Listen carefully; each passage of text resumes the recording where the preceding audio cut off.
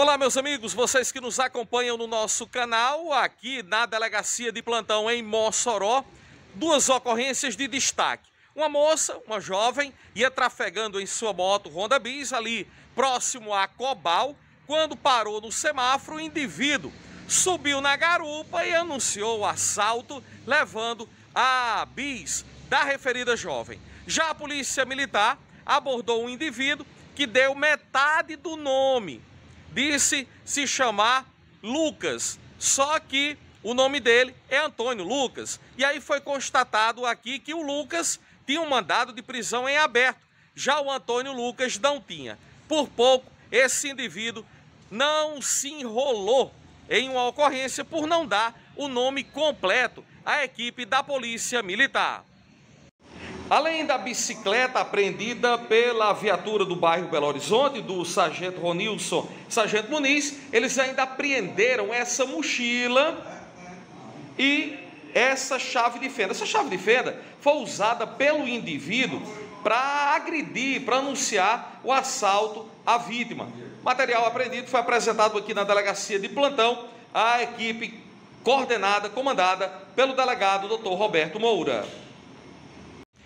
E por falar na Polícia Militar, a viatura do bairro Belo Horizonte chegou aqui à delegacia de plantão, já no final do plantão, conduzindo uma bicicleta e essa bicicleta estava com um indivíduo que adentrou em uma casa na Avenida Frei Miguelinho, ali no bairro 12 anos. O indivíduo anunciou um assalto a vítima reagiu e ele acabou fugindo, deixando para trás a sua bicicleta e outros artefatos que foram encontrados lá no local.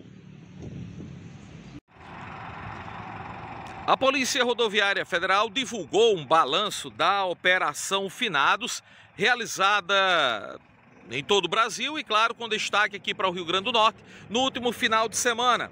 Foram 5 mil 410 pessoas abordadas, 4.713 veículos fiscalizados, 500 testes de alcoolemia, de bafômetro realizados, 27 acidentes nas BRs que cortam o Rio Grande do Norte, com sete ocorrências mais graves e 29 pessoas feridas e uma morta. Esse foi o balanço da operação Finados da Polícia Rodoviária Federal. Já aqui na BR-304, o trânsito flui bem em todos os sentidos. A Polícia Rodoviária realizando aquele intenso trabalho de abordagem e fiscalização no intuito de coibir o número maior de acidentes e outras ações delituosas. É o plantão da Polícia Rodoviária Federal. Quem trafega aqui na rotatória da rua José Otávio, próximo ao Hospital Regional Wilson Rosado, se deparou com uma ação do tiro de guerra 07010.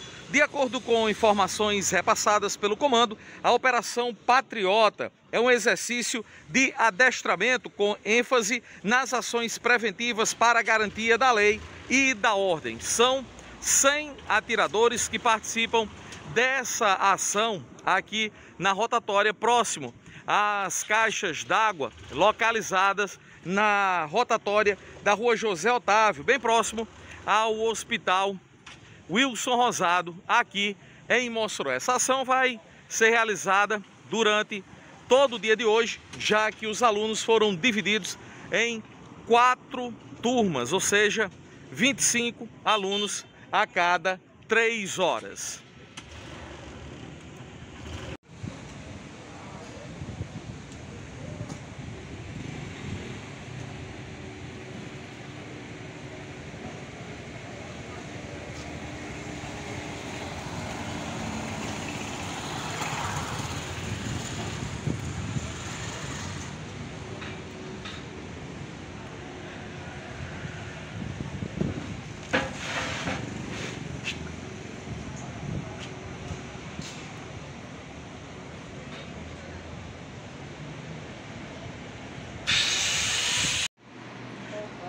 Moradores da cidade de Apodi foram surpreendidos no início da tarde desta quinta-feira com uma forte explosão em um prédio comercial. O fato aconteceu na rua Benjamin Constant, em pleno centro da cidade.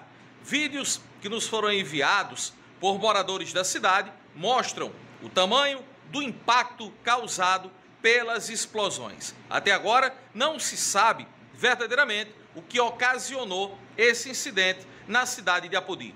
Vejam vídeos que nos foram enviados para o nosso canal.